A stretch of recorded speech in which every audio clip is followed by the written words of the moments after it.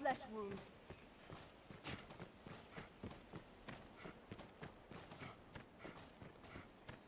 Not hard to find such a place here. I recall a spot we may rest.